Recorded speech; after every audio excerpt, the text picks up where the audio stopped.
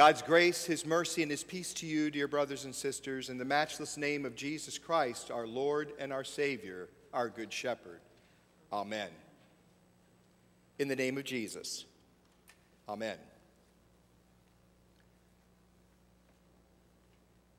Children of the Heavenly Father, sheep of the Good Shepherd, like a good shepherd, a gentle shepherd, leading us to pastures, pastures green with the word, and beside streams wet with his holy passion. Jesus, our good shepherd, makes his way for us and for our salvation. Jesus is our good shepherd, and he's come to lay down his life for the sheep treading upon Solomon's porch on this day in the Holy Scriptures during the Feast of Dedication. One greater than Solomon and wisdom incarnate is quickly surrounded by the wintry hearts of his fellow Jews. Those were gathered there in Solomon's portico in the temple to celebrate Hanukkah and as they were celebrating, they were remembering the cleansing of the temple in 167 BC. And they're now assembled in order to profane the temple not made with hands. The coldness of their intentions is made manifest with their impious seizing of Jesus on Solomon's porch. How long? How long will you keep us in suspense? How long will you keep us in doubt? If you are the Christ, Tell us plainly. These are the words that seem to be asked in sincerity and truth, but don't let that fool you, dear friends. For those Jews have unregistered stones holstered in their hearts, and they're ready to be taken up in a blazing fervor against Jesus in a moment's notice. Yes, Jesus, yes, tell us plainly what, that you are the Christ so that your blasphemous blood may be upon us and on our children. Yes, tell us plainly, remove all doubt, and confirm us in our unbelief. Such is the true voice of wolves gathered around our good shepherd. They are voices not unlike those who question a loving God's power or a loving God's will when tragedy strikes questioning God's even existence when tragedies strike. They are the voices of those who aspire to serve God but profane his glory as they reject God's only begotten Son. They are the voices of those who lay claim to the sheep pen by virtue of their own goodness and their own merits, ignoring the lone door to salvation. They are thieves, they are wolves, they are enemies of the Good Shepherd and enemies of you, his lambs, assembled in his church. They are wolves, wolves in sheep's clothing, waiting for the hour of feasting, and they want to feast upon you. Yet the Savior continues to love even them. How he longs to guide these poor, twisted souls to streams of living water how his heart yearns to immerse them in the wealth of his glorious passion, to drown their ferociousness, their, these unbelieving beasts, and to resurrect gentle, faithful lambs unto service to the Lord, to the newness of life toward God, to the loving service of their neighbor, to cover over canine hearts with the purity of true divine wool but even the Savior's sheep.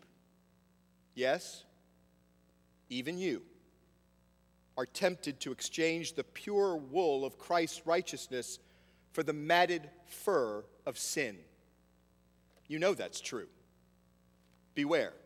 Beware, dear children of Christ, beware this world's alluring voices telling you that the ways of the world and the ways of our society are the way it is, so the church and Christ should just get along with it as we blaspheme in his face.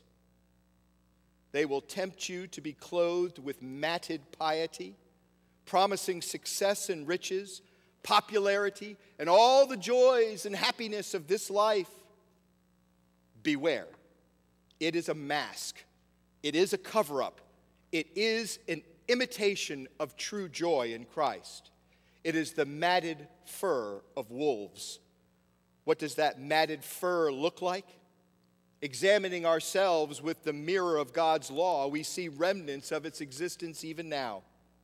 We see hatred of, or even indifference toward our neighbor, racism, prejudice, bigotry. We see selfishness, love grown cold, true apathy to the plight of so many.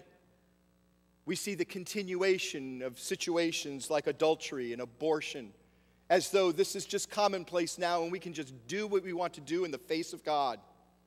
We see selfishness, apathy, and apathy toward the plight of women, to the plight of children, to the plight of the poor, to the lame, to the infirm. We're slow to listen, quick to speak, swift to anger. And oh, our self righteous anger is so wonderful, even in the face of God. We see the lusts of our own hearts and sometimes live it out. We see rebellion against parents, rebellion against authority, rebellion against Almighty God. We see in ourselves a creature once drowned under the waters of holy baptism continually rising up its ugly head, gasping for another breath, reaching for an imaginary life preserver, and making every effort to cleave to a way destined for eternal ruin. We know it's true because we live it. God's law is brutally honest and reveals that we are, by reason of our own fallen, broken nature, we are indeed wolves. We were born that way. The deeds of our flesh reveal the matted fur of a creature chilled with sin and awaiting sin's wages. This leads to thoughts of doubt, true despair, and complete unbelief. Thoughts which you, if you're like me, have experienced all too often. That's the problem when we look to our own works. That's the problem whether for our salvation or the assurance of our salvation, we begin to look at our own outer works. And this is problematic for the church. There is no hope in the deeds of the flesh, none whatsoever. There is no peace. There is no certainty in these deeds of the flesh. Therefore, Jesus is the one who directs us away from our own works, away from what we perceive as our strengths, away from our supposed goodness and he shines the brilliance of his light upon the glory of his deeds, of his actions. Jesus says it to us all too clearly The works I do in my Father's name, they bear witness of me. These works of his being certain, peace, and hope. These works of Jesus win forgiveness of sins for all who would be his sheep, even for you and for me. For Jesus is indeed the Good Shepherd. And the Good Shepherd lays down his life for his sheep. The Good Shepherd bears the sins of the whole world. Jesus is beaten down with the rod of righteousness. He is bound to the altar of sacrifice and adorned with the jewels of mockery. Jesus is anointed with the spittle of wild dogs and ravished by rebellious shepherds, all casting their hate and anger toward him. Stripped of all modesty, the temple not made with hands is paraded before the world as one who is weak, one who is unloving, one who is a criminal. Jesus is condemned in your place, and his flesh is fastened to a tree for your salvation. Jesus' blood is let out pouring from his veins. Jesus' hands are nailed, his feet pierced, his side speared. Jesus is the Good Shepherd, and the Good Shepherd lays down his life for the sheep. The Good Shepherd suffers, the Good Shepherd dies and embraces my sin and your sin, the sin of the whole world. He embraces death, and the devil enfolds of his wounded flesh. He is the Good Shepherd. He is good to the very end. Good even in weakness, good even in death, good for you, good for me, good for the whole world. This is Jesus' work. This is Jesus' work, which he does in the Father's name. It is glorious. It is all magnificent. It is beautifully bloody. For in the goodness of Jesus' peril, he decants his entire life that his blood may be sprinkled upon us and upon our children, from the greatest to the least among us, from the oldest to the youngest, from the strongest to the weakest, even for you. These works of Jesus are the works for your salvation. Know this, believe this. It is sure and it is true. His word tells you so. For faith comes by hearing, and hearing by the message of Christ himself. As Jesus says, My sheep hear my voice, I know them, and they follow me. And now, though at times you and I may seem more like wolves than his redeemed and regenerate sheep, the rod and staff of our Good Shepherd graciously calls you and me to repentance. To repentance. To repent and turn.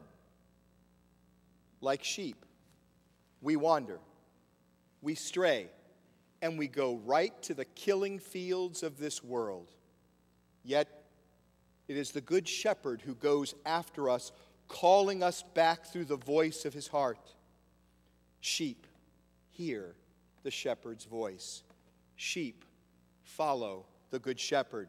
That's what sheep do. That's their purpose in life. That's their joy in life. Upon hearing Jesus' voice, you are to follow him toward streams of living water. You are to follow him toward holy, life giving water, which cleanses your heart and removes the stain of your sins. Follow Jesus to the Eden's pulpit, where there he preaches the way, the truth, and the life, where Jesus speaks salvation into your very ears, where the cross and the resurrection of your Savior triumph over your sin, triumph over death, and triumph over the devil. And follow him, follow him to the pastures green with life, pastures whereby he prepares for you food and a table before you, even in the presence of your enemies, where he feeds you with his very own body and his blood for the forgiveness of your sins, repentant in Christ. Through these, your good shepherd lovingly mercies you with his passion, gently uplifts you with his absolution and tenderly pledges within you the resurrection of your body unto life everlasting. Jesus said it clearly I give them eternal life, and they shall never perish. No one, no one will snatch them out of my hand. And so, dear brothers and sisters, this morning we find that our shepherd is kind. We find that our shepherd is compassionate, friendly, and gentle. He is truly our good shepherd. Jesus is your good shepherd. He is Solomon's son and Solomon's savior, Solomon's wisdom incarnate for you who are more precious than the lilies of the field, as the word tells us. Jesus is the one who has laid down his life, even gives to you his life, that by faith in his name you may live forever as his lambs. Jesus' voice echoes within these very walls. The hour of feasting is upon us. The shepherd presents himself now to us in the midst of a wintry world, cold hearts. Come, come and surround him. Come, come and receive him. Come and rest in the palm of his hand. Come, come and delight. His heart is with faith in his word and his holy work. Hear my voice, Jesus calls to you. Follow me. In the name of the Father, and of the Son, and of the Holy Spirit. Amen. And now may the peace which surpasses all human comprehension guard and protect our hearts and our minds in Christ Jesus our Lord. Amen.